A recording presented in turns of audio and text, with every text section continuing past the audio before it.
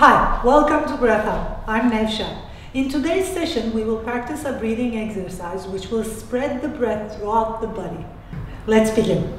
First of all, imagine your torso divided into three parts. The first section is from the abdomen to the navel.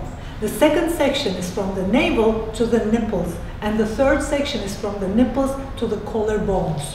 Now, inhale and imagine your breath filling into the first section and then the second section, and then the third section in one big breath.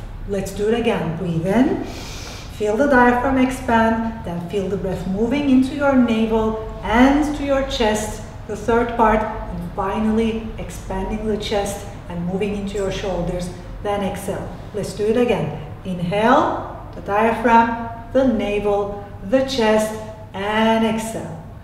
Inhale, diaphragm, navel, chest, and exhale. Now, let's do it in four counts. Breathe in, two, three, four, and exhale, two, three, four. Breathe in, two, three, four, exhale, two, three, four. Let's do it one last time together. Breathe in, diaphragm, two, navel, three, chest, four, and exhale, two, three, four. That's enough for today and you can practice it by yourself every day. You can now slowly get back to your normal breathing pattern.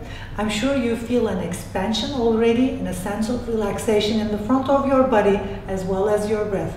This technique is a great exercise which helps you spread your breath throughout your body, expand it. It cannot completely activate the breath or make a wrong breathing habit disappear. It doesn't heal dysfunctional breathing habit, but it will activate the muscles and it will activate your breath and expand your breath. It will stretch it. I hope you enjoyed our session together. See you soon again, very soon.